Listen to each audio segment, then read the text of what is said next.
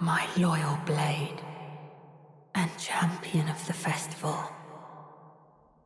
Both your deeds will ever be praised in song. Now, the vow will be honored, and my lord brother's soul will return,